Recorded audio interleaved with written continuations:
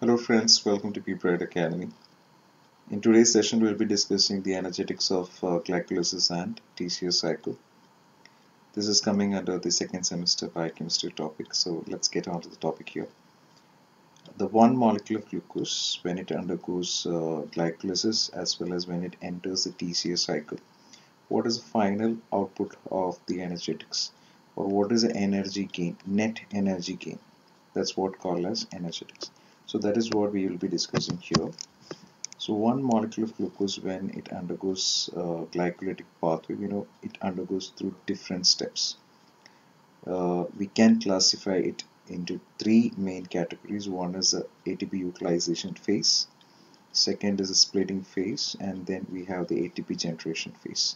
So glycolytic pathway is basically consisting of three uh, parts. One is the utilization phase of ATP, second as we said is a splitting phase and the third one is a generation phase. So in uh, the utilization utilization phase there are two different places where the ATP gets converted to the ADP right? So we can see that here when the glucose gets converted to glucose 6 phosphate there is one ATP being utilized and we get ADP right? So the ATP is being utilized here. That means one ATP is utilized to form uh, glucose 6 phosphate. And in the second reaction we can find that the fructose 6 phosphate it get converted to fructose 1 6 biphosphate. Again here also you can find that one ATP is being utilized. And it provides inorganic phosphate which then converts a fructose 6 phosphate to the fructose 1,6 biphosphate, correct? So two molecules of ATP is consumed here. So we will have to reduce two ATPs, one from here, the other from this position, correct? Because the ATP is being consumed or used to form a different product. Next is the splitting phase and there uh, we get the glyceraldehyde 3-phosphate and 1,3 uh, hydroxy dihydroxy acetone phosphate. Dihydroxy acetone phosphate. So we get the glyceraldehyde 3 phosphate and then there is a dihydroxyacetone phosphate. The most important part is that we need to understand both glyceraldehyde 3 phosphate and dihydroxyacetone phosphate are isomers which means they are uh, structurally very similar but uh, they have the same molecular formula. They have a few difference in their structural arrangement correct? So that is why it's called as an isomer it, it has an importance in uh, glycolysis because glyceraldehyde 3-phosphate once uh, it undergoes a whole conversion and finally it forms a pyruvate right? So that is the end point of the glycolysis. So once the glyceraldehyde 3-phosphate completes that formation into the pyruvate once that is exhausted we know that dihydroxyacetone phosphate get, get converted to glyceraldehyde 3-phosphate and again it will undergo a second uh, run right? And finally we get the pyruvate so it means that this cycle is going to repeat two times. So whatever the energy that we are going to get here we need to multiply it by 2 right? Why? Because glyceraldehyde 3-phosphate once it runs at uh, uh, runs and complete final formation of pyruvate the same thing can repeat once again. Why? Because glyceraldehyde 3-phosphate can again gets converted to the um, glyceraldehyde 3-phosphate. Again, that cycle is going to repeat. So two times it is going to repeat. That is why we have to multiply all the energy molecules that we are getting into two. So let's see how many energy molecules we can uh, get when the glyceraldehyde 3-phosphate is getting converted to the pyruvate, right? So let's see the positions here. So once glyceraldehyde 3-phosphate gets converted to 1,3-biphosphoglycerate, you can see that one molecule of NADH is formed, which is an energy molecule, right? And then 1,3-biphosphate gets converted to 3-phosphoglycerate. Again, you can find that there is a formation of ATP. The energy molecule is, is being formed here. And the third place is when pyruvate uh, phosphoenolpyruvate gets converted to the pyruvate. Again here you will find that there is an ATP formation, right? So we got three places where there is an energy molecules being formed. One, it is in the form of NADH. and then we have an ATP formation and then again an ATP formation right so one molecule of NAD is formed NADH is formed and two molecules of ATP is found here so what is the significance is that we need to multiply it with 2 we have already discussed why we need to multiply it with 2 because uh, once glyceraldehyde 3 phosphate undergoes that conversion into pyruvate, then dihydroxyacetone phosphate gets converted to glyceraldehyde 3 phosphate, which can repeat the same steps and it is going to give you the pyruvate, right? So this is the second time it's going to repeat that. That is the reason why we are multiplying it with 2, right? So we have the final product here, the pyruvate. That is the end product of glycolysis and uh, next we need to understand what as per the old calculation and as per the new calculation what is the amount of ATP that one molecule of NADH2 can give NADH can give and similarly FADH2 can give right so one molecule of NADH as per old calculation it is equivalent to three molecules of ATP but in the new calculation a 0.5 has reduced so now the new calculation says that one molecule of NADH is equivalent to 2.5 ATP. So we'll be using this uh, value to calculate uh, in this energetics. Okay, and for FADH2, the old calculation says that it's equivalent to two molecules of ATP, but as per the new calculation, the accepted is 1.5 ATP. So again, we'll be using this for the new uh, for understanding the energetics of both glycolysis as well as the T, uh, TCA cycle. So glycolysis, we know that there are different phases. First phase is the utilization phase. As we have discussed, two molecules of ATP is being utilized there, right? It's being consumed.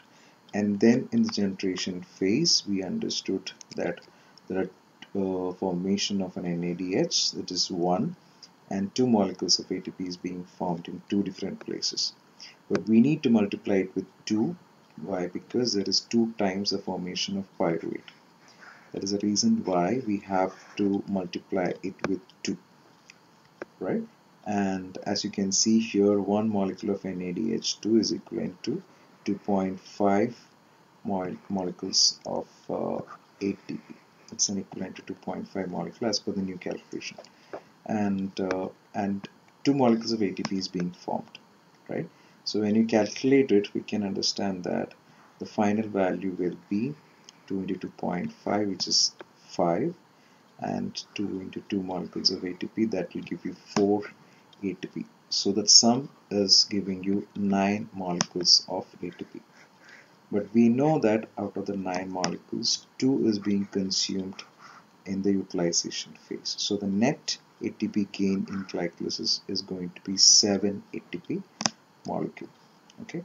And uh, then we'll know that the pyruvate which is formed in the TCA in the glycolysis is going to move on to the next cycle which is a TCA cycle or we call it as a citric acid cycle or also known as Krebs cycle so two molecules of pyruvate is going to enter into this uh, cycle and it's going to have it's going to undergo different changes right so we will uh, first uh, understand when the pyruvate forms into acetyl coenzyme A, there is a formation of a NADH. Okay, and then it moves into the cycle, which is a TCA cycle, where the conversions happen. Where first the oxaloacetate is going to combine with acetyl CoA, and uh, it moves forward through the cycle.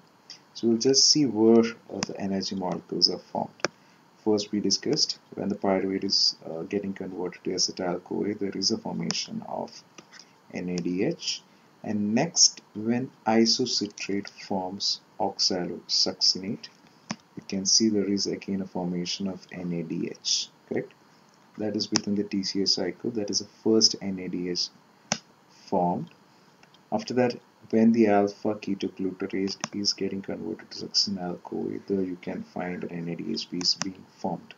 That is the second NADH. And when succinyl CoA is getting converted to succinate, is a formation of GTP.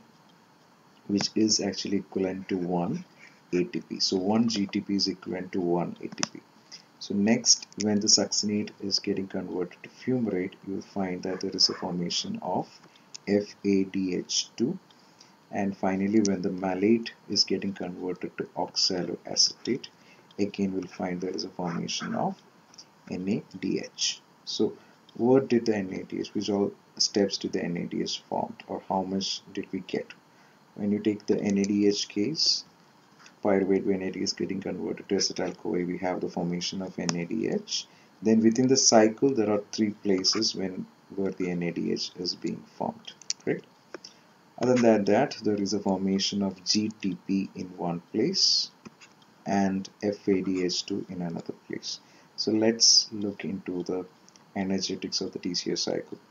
As we have discussed in the beginning there is two molecules of pyruvate being formed and both those pyruvate is going to enter into the TCA cycle right?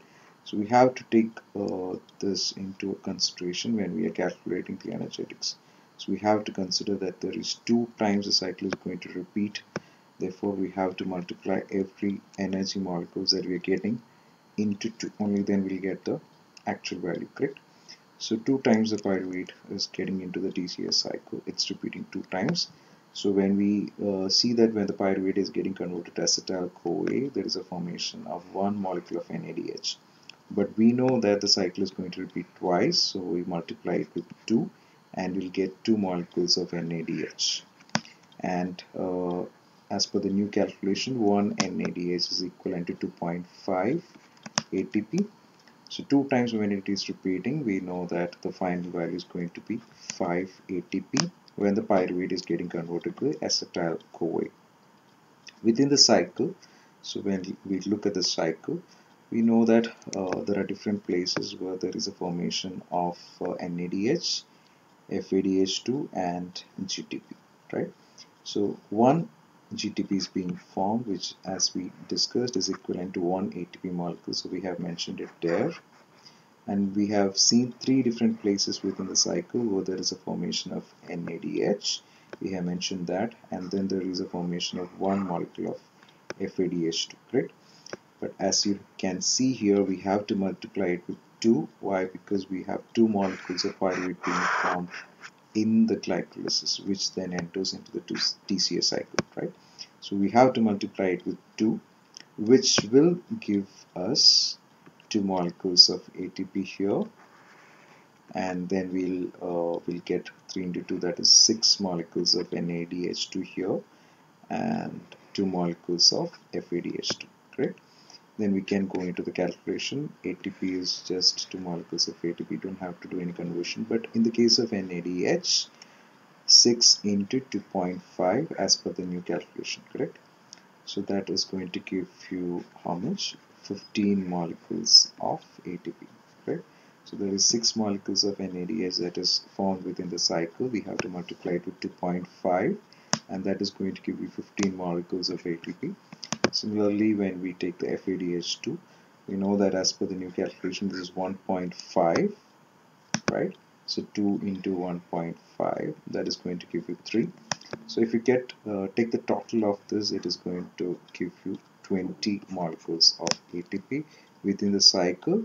And then when the pyruvate is getting converted to acetyl CoA we have the formation of 5 molecules of ATP right what about the glycolytic pathway? We know that net gain in the glycolytic pathway was how much? It was 7 ATP right?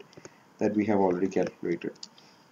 So taking into consideration all this when we sum up the whole uh, one molecule of glucose getting converted to uh, pyruvate then it is entering, entering into the glycolytic uh, TCA cycle. So when we take the sum total of all those uh, pathways we can understand the total output of ATP is 32 correct right so we get 32 ATP but there is a small uh, clarification why because we need to use two ATPs for the transportation of an NADH. Why does it happen or where does it happen? So we need to understand where the glycolysis is going to happen, right? Then only we will be able to understand why 2-ATP is being utilized for the transportation of NADH. As we can understand that within the cell, so this is a cell, there is a cytosol where the glycolysis is happening, right? So cytosol is uh, uh, the matrix part uh, and then we have the mitochondria. So in the cytosol, uh, we have this glycolysis is happening and finally we'll get the pyruvate and during this process we'll get the NADH right? We'll get two molecules of NADH for the transportation of NADH into the mitochondria where uh, there is ETC or the electron transport chain which is actually converting the NADH into the energy molecule which is the energy currency ATP right? Within the mitochondria for converting this it has to enter into the mitochondria. The NADH has to enter into the mitochondria. But this happens uh, with an expense. Okay that is two molecules of ATP only if we give two molecules of ATP the NADH is going to get transported into the mitochondria where it enters the ETC that is electron transport chain and we'll get the ATP molecule. For this two molecules of ATP is being utilized. So the net gain is not going to be 32. We have to subtract it from the 32 ATP. Why? Because we told, we understood that the TCA cycle as well as the ETC is going to happen within the mitochondria. So from the cytosol, after uh, the glycolysis is over, uh, we get ATP as well as NADH and this NADH has to enter into the mitochondria where it gets converted into the ATP right? Into the ATP so for this we have to uh, two molecules of ATP which means that uh, ATP is being utilized or another two molecules of ATP is being consumed that is the reason why we are subtracting two molecules of ATP from 32 and that is going to give you a net ATP gain of 30 molecules, ATP molecules. So what is a net ATP gain after uh, a molecule of glucose enters into the glycolysis and TCA cycle? It is 30 ATP energy molecules. So this is a calculation how it goes. Uh, thanks for watching P.Bright Academy. Have a great